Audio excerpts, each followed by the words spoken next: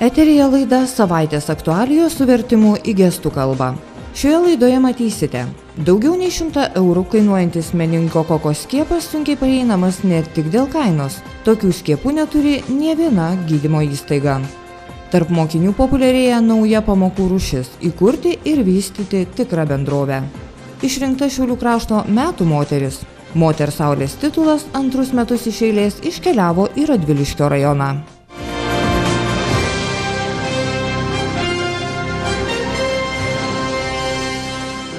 Šie jaunuoliai galbūt busimi darbdaviai. Jie jau mokyklos suolė ėmėsi verslo. Kas bandelės kepa, kas ausinės gamina, o kas prekiauja. Pigiau pirkia, brangiau parduoda. Tai mokomųjų bendrovių mugė. Joje daugiau nei šimtas mokyklos suolė dar sėdinčių gamintojų ir prekybininkų. Reklamos paslaugas teikiame. Puikiai tiesiog žmonės iš praeitų metų grįžta. Gaminame užrašų knygutes, kur, kurių viršelius piešia mūsų gimnazistas. Organizuojame renginius tokius kaip aukcionai, mugės. E, Taip pat e, esame sudarę sutartį su duonos kepyklos e, kepikla ir iš jos gauname gaminius, kuriuos mokykloje pardavinėjame. Mokomųjų bendrovių mugės organizatorė sako, kad leidus paaugliams dar mokyklos suolę pajusti verslo skonį, stengiamasi išauginti naują darbdavių kartą. Veikia visi skyriai, yra finansų tvarko, personalas, e, marketingo skyrius ir visi kiti, kaip normalioj akciniai bendroviai. Tai yra tokia veikla, kur ekonomikos teoriją mes pritaikom praktiškai. Ir mano manimu, tai yra pats geriausias mokymas. Tiesa, patys jaunieji verslininkai pripažįsta, kad be mokyklos globos vargu ar jų verslas klestėtų. Jau ir dabar tenka rinktis algas mokėti ar investuoti, o ir suskaičiavus uždarbį tenka pripažinti, kad net iš darbo biržos niekas už tiek neįtų dirbti. O kokia alga? Tai maždaug būna, gali būti apytiksliai taip, tai yra apie 100 eurų. Algos yra labai simboliškos, va, popkornais tiesiog motivuojame save ir tiesiog toliau dirbti. Kiek viską išleidom, ta- tarkim, 5 eurus išleidžiam ant keksiukų gamybos ir po to tos 5 eurus ar ten 6 surenkam ir tą kitą eurą investuojam toliau. Kaip ten būtų vadovavimas tikrai veikiančiai įmoniai, tegul ir globojamai mokyklos bei atleistai nuo mokesčių suteikia supratimą apie verslo kelius ir klystkelius. Kol kas nežinia, kiek iš tikrųjų mokomosios bendrovės užaugina darbdavių ir sėkmingų verslininkų, bet ir nesėkmė atsako į daugelį klausimų. Jie pabandė šitą veiklą, jie, kai kurie man pasako, aš žinau, aš negalėčiau būti verslininku, nes man yra per sunku. Aš negaliu pats užsakyti prekes, rūpintis klientais ir viską tai daryti. Aš geriau dirbsiu samdomą darbą. Tai yra taip pat atsakymas į klausimą, ką jam veikti gyvenime. Na, o kol kas save sėkmingais verslininkais laikantys paaugliai dar ir padebesiais paskrajoja ir rimčiau pamasto. Tai kokia alga pas jūs būna kiekvienam žmogui? Tai maždaug po 25 eurus. Taip. Tai jūsų manimų daug ar mažai? Manau, tai yra, manau, normali suma. Jūs baigusi mokyklą dirbtumėt už tokią sumą? Manau, kad ne, bet baigusi mokyklą mano bendroji būtų vien tik mano ir nereikėtų dalinti pinigų. Tiesiog tokia grinai yra moksleivių bendrovė, kuri tik, nu, tiesiog sėmėmės patirties ir viskas, o realiame pasaulyje tai nemanau tiesiog, kad išgyventum. O rimti verslininkai tokių pamokų, kai mokiniams suteikiamos šiltnamio sąlygos save išbandyti versle, nepeikia. O čia juk yra, kaip sakyti, žaidimas, pasi, pasi, pasibandymas, ar tikrai tas vaikas nu, ateityje imtųsi tokio darbo. Nes čia yra pusiau viskas tikra. Akcijų emisija, dividendų kaupimas, galų galę rezultatas, pelnas ir taip toliau. Tai tas, tas išgyvenimas čia daugiau galbūt jų psichologiškai, kad jie būtų pasirengę, jeigu kada nors ateityje sugalvotų kažką panašaus daryti. Tokias verslumo pamokas skatina ir kitos šalis. Mokinių verslumo idėja gimė Amerikoje ko ne prieš šimtmetį. Pelninga ar ne mokinių bendrovė, jos valdytojai atlieka būtinus veiksmus. Parduoda akcijas, skaičiuoja išlaidas, pajamas, nuomojasi įrangą, ieško klientų. Tokia bendrovė veikia vienus mokslo metus. Per pirmosius šių metų mėnesius šalyje jau užregistruota daugiau nei 20 meningokokinės infekcijos atvejų. Siauba kelianti lyga jau nusinešė keturias gyvybės. Visi mirusieji vaikai, kurių vyriausiajam vos septyneri metai. Pranešimų apie mirtinus atvejus įbauginti tėvai šiomis dienomis vis dažniau šeimos gydytojų teiraujasi, kaip apsaugoti atžalas. Šiais metais po šitų nelaimingų atvejų labai susirūpino ir daugelis klausė, kaip ar vakcinuoti, ar nevakcinuoti. Tarėmės, kalbamės, bet pagyvėjimas yra tikrai. Ypač dėl skiepų klausimų kyla daugam. Nerimaujantiems dėl mirtinai pavojingos meningokokinės infekcijos gydytojai sako, kad vienintelis būdas apsaugoti vaikus – juos skiepyti. Tačiau net ir pasiryžusiems už vieną skiepą pakloti daugiau nei 100 eurų teks palūkėti. Mačiauliuose, kaip ir visoje šalyje, šiandien šio skiepo nėra. Centro poliklinikos vadovas sako, kad šiandien jau atplėšti viešojo pirkimo konkurso vokai, tačiau skiepai šiaulius pasieks tik po mėnesio. Šiandien laišką gavom vienos mamos susirūpinusios, ar, ar galima paskiepyti ir kada paskiepyti. Yra vienas tiekėjas ir vienas laimėtojas, tai yra 110 eurų vienas skiepas. Ir pasirašysim sutartį, įspėjo, kad be mėnesio netveš. Tai va, tai nesvarbu, ką nupirkom, bet tų skiepų realiai mėnesį laiko tikrai neturėsim. Kiek pradžiai skiepų žadate įsigyti? Pradžioje skiepų pagal sutartį 50 e, pradinis toksai, bet su pratesimu tai tiek, kiek reikės. Vidutiniškai Lietuvoje kasmet užregistruojama per 70 meningokokinės infekcijos atvejų. Liga vidutiniškai nusineša apie šešias gyvybės. Medikai sako, kad ši liga rimta pavojų kelia ne tik mažų vaikų, bet ir paauglių gyvybei. Tai yra dvi, dvi grupės, kur galvojama vaikam, kol dar nėra pilnai susiformavęs imuninė sistema ir paaugliai dėl savo amžiaus, dėl brendimo pokyčių, dėl dažnų buvimo susibūrimo vietose, jie yra kaip ir pakankama rizikos grupė. Imliausi yra vaikai nuo 6 mėnesių iki 4-5 metų, nes jų imuninė sistema net pažįsta meningokoko ir duoda generalizuotas formas. Vaikas karščiuoja iki 39-40, jis būna bliškus, oda tokia marmuruota ir kaž paros bėgėje atsiranda bėrimas kai išplitęs meningokokinis procesas. Bėrimas dažniausiai būna šlaunų, sėdmenų srityje ir jis būna hemoraginis, kraujostrumos, nedidelės mažos mėlynės, kai paspaudus bėrimas neišnyksta. Praėjusiais metais šalyje registruoti 74 meningokokinės infekcijos atvejai. Septyni iš jų baigėsi tragiškai. Laimė Šiaulių apskritį nelaimės aplinkė. Tris Šiaulių rajono ir vieną Kelmės rajono gyventojus gimusius 2000-2014 metais pavyko išgydyti. Ši infekcija Šiaulių apskritį paskutinį kartą skaudžiai paženklino prieš porą metų, kai nepavyko išgelbėti septynių mėnesio berniuko gyvybės. Vaikas buvo atvežtas tikrai sunkioj būkliai, gan pavėluotai į trečią lygos dieną, kuomet jau ir buvo bėrimai, išplitę, sunkus dekompensuotas septynis šokas ir, ir nei reanimacinės, nei in, intensyvios infuzoterapinės priemonės jau nebebuvo savalaikės ir veiksmingos. Medikai sako, kad meningokoko infekcija plinta oro lašeliniu būdu, itin artimoje aplinkoje bendraujant su sergančiu ar su bakterijos nešiotoju. Meningokoko infekcija gali pasireikšti keliomis formomis. Pati pavojingiausia žaibinė, kurios mirštamumas siekia net 70 procentų. Jos atveju bėrimai atsiranda jau pirmosiomis valandomis, o lyga būtina diagnozuoti ne vėliau kaip per 12 valandų nuo lygos pradžios. Taip pat galimas ir meningokokinis sepsis bei meningoencefalitas. Pastarąją formą padeda atpažinti būdingą pozą, kai sergantis Sergantis dažniausiai guli ant šono, sulenkęs kojas ir atlošęs galvą. Medikai ragina tėvelius kruopšiai sekti sergančių vaikų būklę. Jei temperatūra nekrinta, vaikas vangus, o šlaunų ir sėdmenų srityje atsirado bėrimai, būtina kuo skubiau kreiptis į medikus.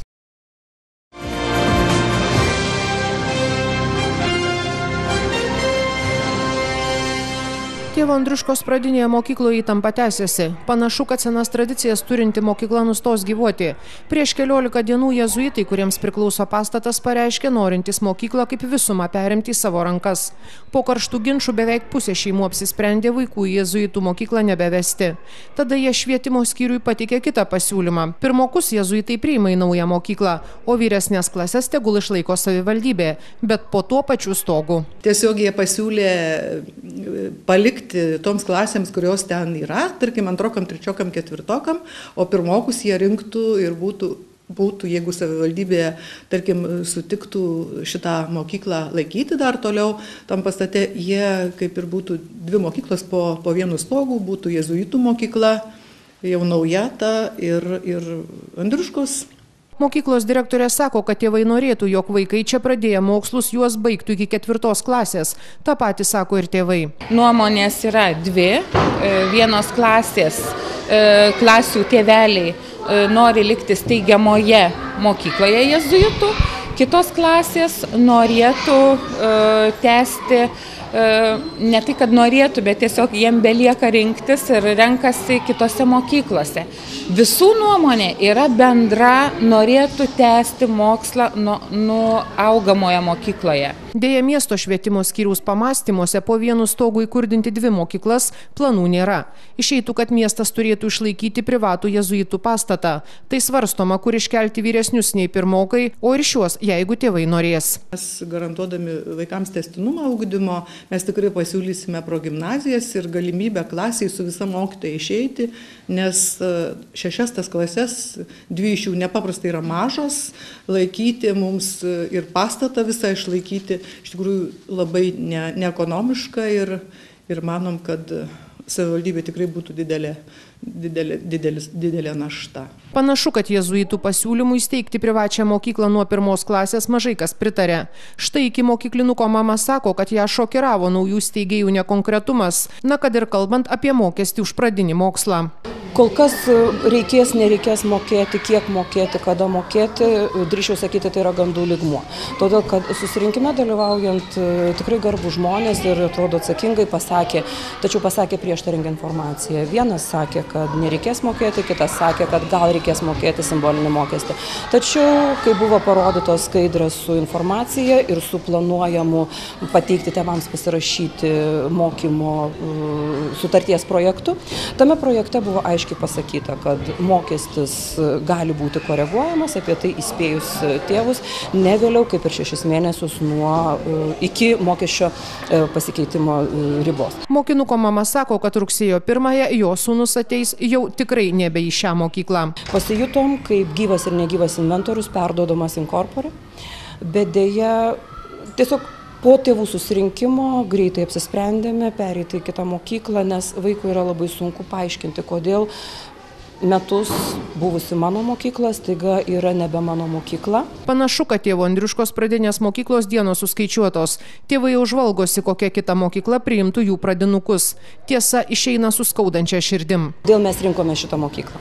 Iš vienos pusės tai yra mūsų trečias, mažiausias, vyresnieji abu du baigė šitą mokyklą ir mes šitą mokyklą laikėm savo šeimos mokyklą. E, čia vaikams buvo ramu, čia buvo šeimos atmosfera, čia kiekvienas mokytojas, kiekvienas darbuotojas, kiekvieną vaiką žino žinojo, vadino vardu ir čia buvo visomis prasmėmis šilta. O mokykla laukia oficialių raštų, kuriuose bus aiškiai parašyta, kas ir ką toliau darys su šia mokykla.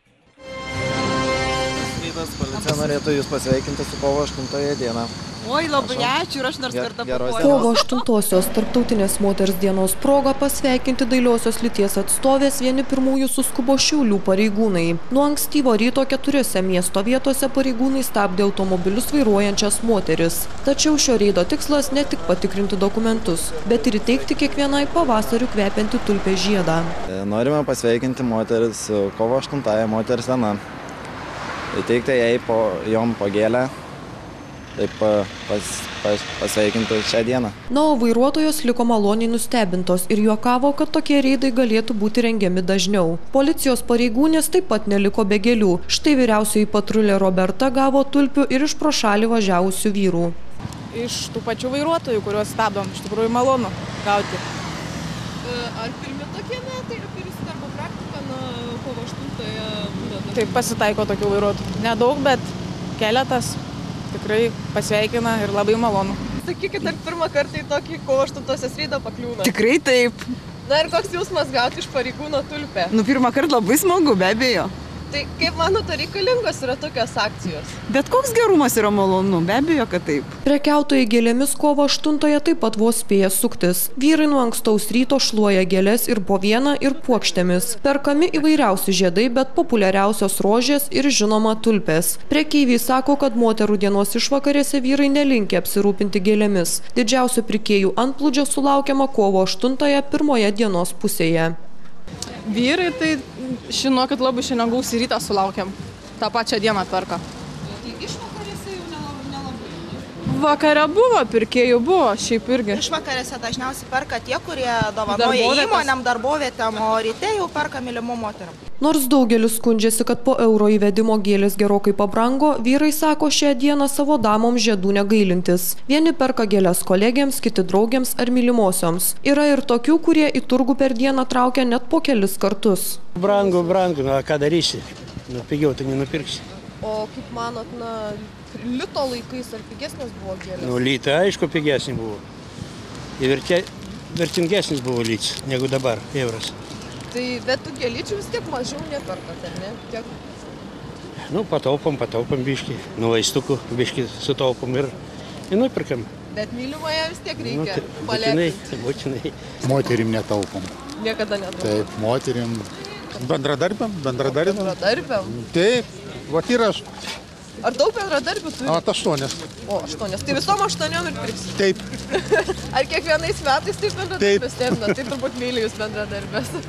A čia reikia jų paklausti. Nors oficialiai moters diena pasaulyje pradėta minėti daugiau kaip prieš šimtmetį, šios šventės užuomasgų galima rasti dar antikos laikais. Pasak istorinių šaltinių, tam tikrą dieną senovės Graikijoje moteris reikaladavo ypatingo savo vyrų dėmesio.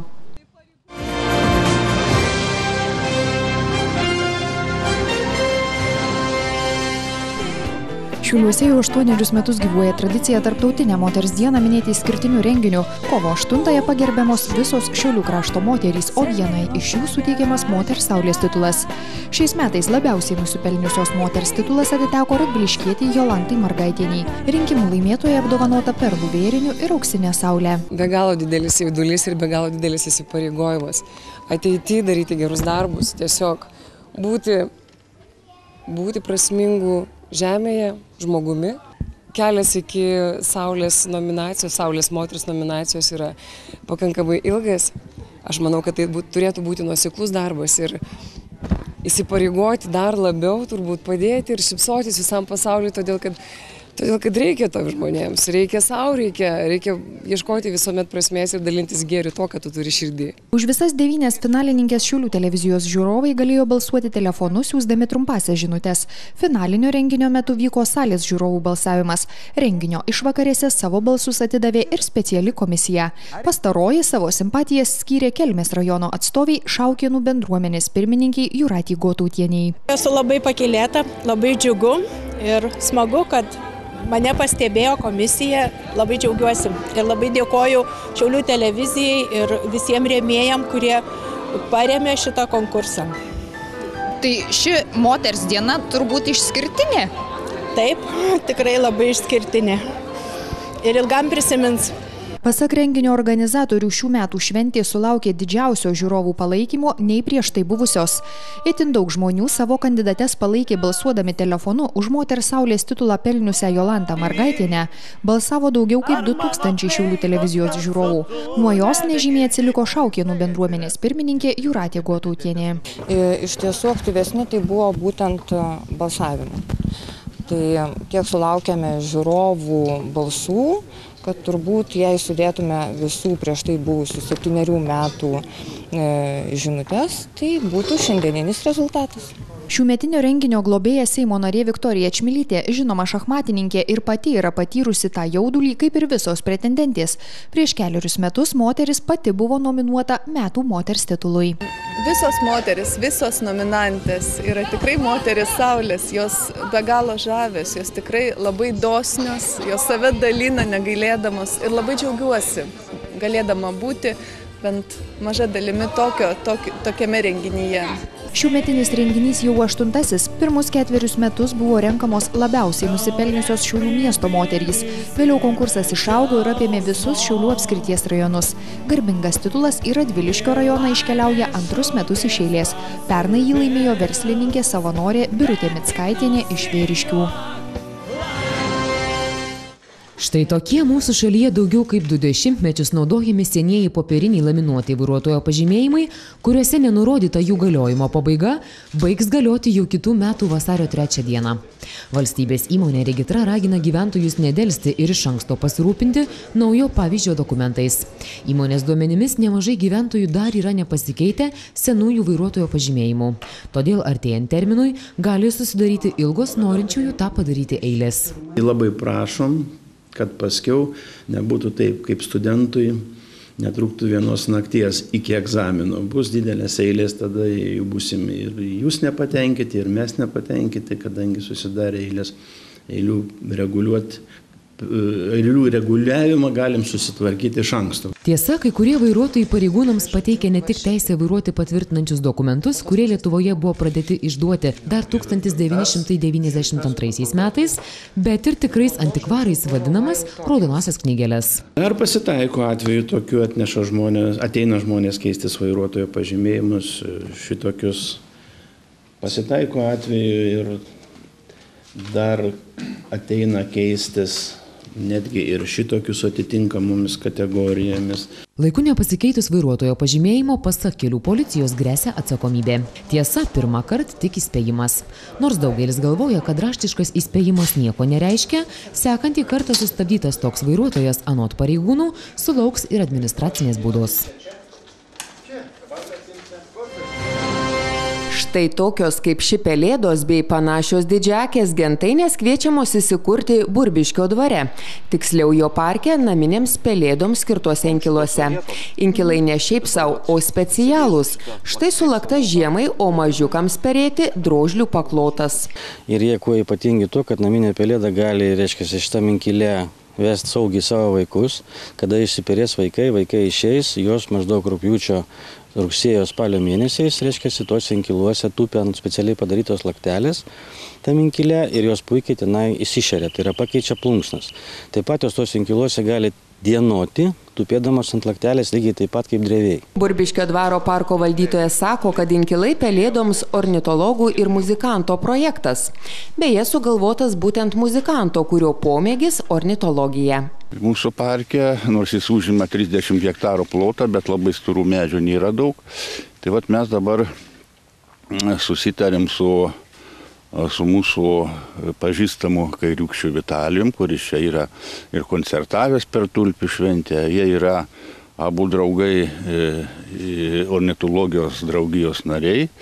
Nu tai va, ir kai mes čia kartą pakalbėjom, pasiūlė, ar, ar sako, tikrai vertėtų. Muzikantas, kompozitorius ir ornitologų draugijos narys juokauja, kad pelėdomis susirūpino, mat jų ūbavimas vienas gražiausių gamtos muzikos garsų, kuriuos nekartą girdėjo šiame parke. Aš esu ne vieną kartą čia atvažiavęs ir aš esu jų prisišvilpavęs, žinau, kur jos gyvena, tai tuose vietose mes susinkilus ir kabinam. Todėl, kad pelėda yra nuostabus paukštis.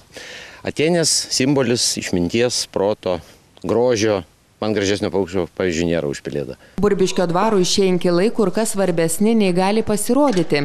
Dvare pagarba pelėdoms gyvavo dar nuo prieškario laikų. Štai šis dvaro bokštas nekas kita, o specialiai suresta pelėdinė. Dvarininkas Mykolas Baženskis garbino šiuos paukščius. Pelėda jam buvo reikalinga kaip išminties simbolis. Jis, kai, kada perkūrė visą tą e, e, dvarą ir parką 20 amžiaus pradžioj, tai specialiai pastatė pastatą pelėdinę, kur perėdavosi pelėda.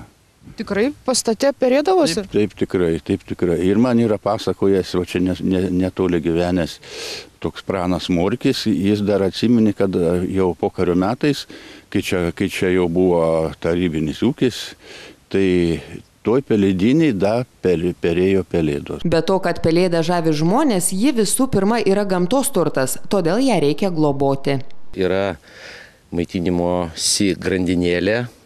Tai pelėda yra labai naudingas paukštis, kadangi vėlgi žmonės nemėgsta matyti tų pelių ir visų graužikų, kurie kenkia ten, vadinkim kenkia. Niekas nieko gamtojiškų nekenkia, bet tai yra natūraliai grandinėlės dalis sudėdamoji. Ir gaudo pelės? Ir gaudo pelės. Ne tik pelės, kirstukus, kūrimius ir viską kitką. Kaip žinia, pelėdos negyvena pulkais, tai vieno dvaro parke trys inkilai kaip tik. Manoma, kad juos pamėgs parko porelės pelėdžiukai, kurie bus išperėti vienintelėje parko drevėje. Inkilas pelėdai didelis 72 cm aukščio, o šie patobulintieji dar padaryti ir taip, kad nesikauptų drėgmė, taigi paukščiui dar patogiau. Prieš keliant inkilus aplink išpjauto šakos ir krūmai, kad pelėdas sparnais nekliūtų, o ir katės ir keunės negalėtų įsiropšti.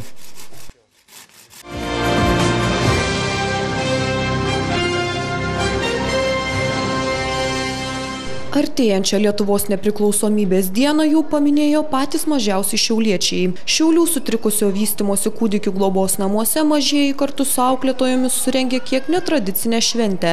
Idėjos autorė sako, kad šiemet vaikams surengė inscenizuotą ekskursiją į Gedimino pilį ir Vilniaus apylinkės. Mažieji patys gamino dekoraciją šventėjai. Noriai piešė, karpė, spalvino. Šiandien vyks kovo 11 šventė, minėjimas, mes visą savaitę su vaikais ruošėme piešėme Gedimino pilis, kalbėjome apie Lietuvos istoriją, vyks e, improvizuota ekskursija į Gedimino pilį, taip pat inscenizacija, laivelių plukdymas Nemunu. Na, o minėjimo metu kiek vyresni vaikai net deklamavo trumpus eilėraščius apie Lietuvą ir laisvę. Kūdikių namų vadovė sako, kad skiepyti tautiškumą vaikams reikia nuo pat mažų dienų. Nors šių namų gyventojai dar maži, bet didesnieji jau žino, kas yra Lietuvos vėliava, kokios jos spalvos. Stengiamasi vaikams lengva forma per spalvas žaidimus padėti suvokti, kas yra tevinė. Eilėrašiai nėra ilgi ir iš tikrųjų mes labai stebėjomės, kad vaikai ne apie mešką, ne apie vilką kalbės, bet bus ir matėt mūsų vilkas ir pilis labai graži ir mindaugą turim. Bandysim ir, ir vaikai išmoka labai greitai eilėraštį. Ir šiandien merginos, kurios deklamuos labai susikaupusios, labai atsakingai ir tą šventę kažkaip labai atsakingai jie žiūri. Šiaulių sutrikusio vystimosi kūdikių namai šiemet minės jau 50-ąjį savo įkūrimo jubiliejų. Tai vienintelė tokia įstaiga mieste. Direktorė tikisi, kad greitai kūdikių namai galės pasiūlyti naują paslaugą - dienos grupės sergantiems sutrikusio vystimosi mažyliams bandysim mūsų paslaugas, kurias mes šiandien dienai teikiam tik, tik kūdikių namų vaikams, bandysim tas paslaugas pasiūlyti ir mūsų bendruomenėje. Ir šiandien dienai mes turime dienos grupę, kurie lanko trys mūsų šiauliečiai vaikai, turintys sunkia negalę. Taigi mamos gali atsidusti, mamos gali išeiti į darbą, gali grįžti į darbo rinką, tai labai svarbu. Ir iš tikrųjų ir vaikai taip pat įeina į mūsų bendruomenę, išmoks, išmoks bendrauti su bendramžiais kas labai svarbu šitiems vaikams. Šiuo metu Šiaulių sutrikusio vystimosi kūdikių namuose gyvena 62 mažyliai, vyriausiam auklėtiniui 6, mažiausiam vos 3 mėnesiai.